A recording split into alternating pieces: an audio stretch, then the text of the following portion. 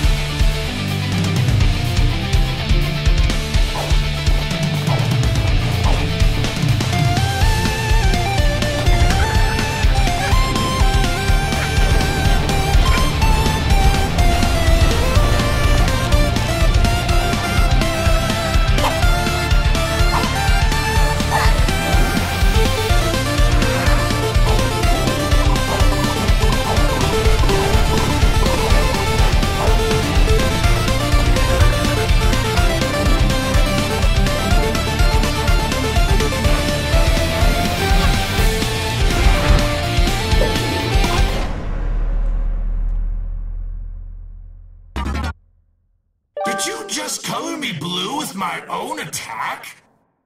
This can't count, right? Surely this doesn't count. That does it.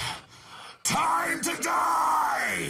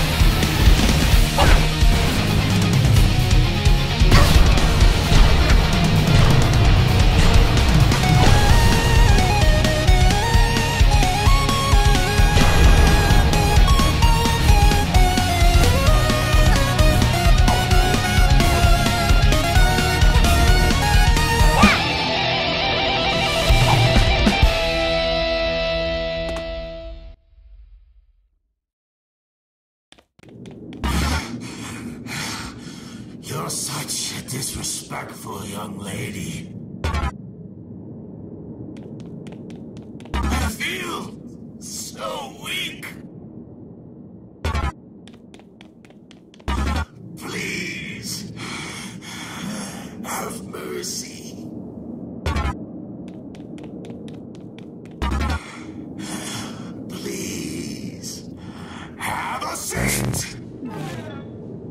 These timepieces landed in my forest. They are my property. So, let's make a deal, young lady. You get out of my forest, and we never see you again. How's that sound for a deal? Not a fan. Too bad. You don't make the calls here. Here, for you. Now, all that's left is for you to sign it.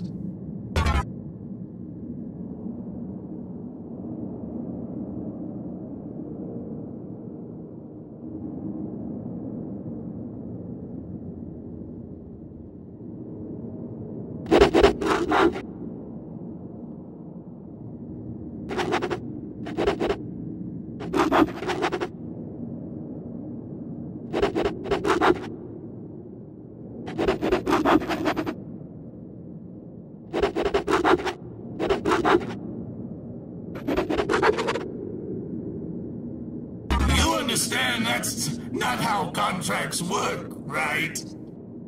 I'm giving you a chance to scram, kid. There's no catches or clauses this time. What if I give you your soul back? Will, will that make you leave?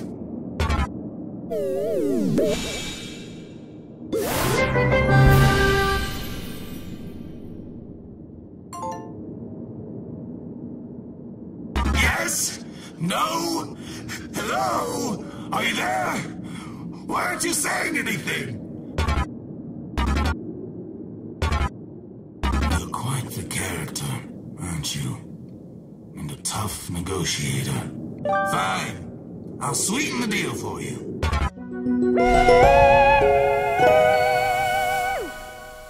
Here, take my last timepiece. If I continue to see you around my forest after this, I'll be very disappointed.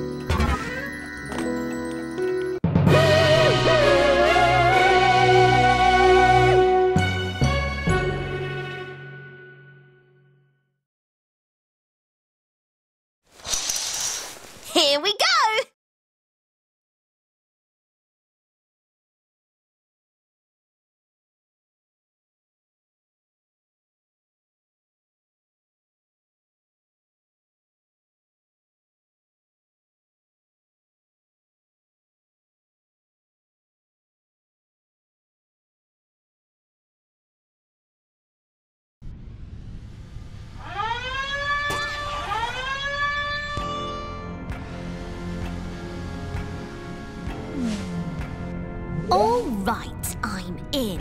I made it. I infiltrated that kid's spaceship without the alarms going off. I bet she's collected a ton more timepieces than I have. Now, where does she keep them?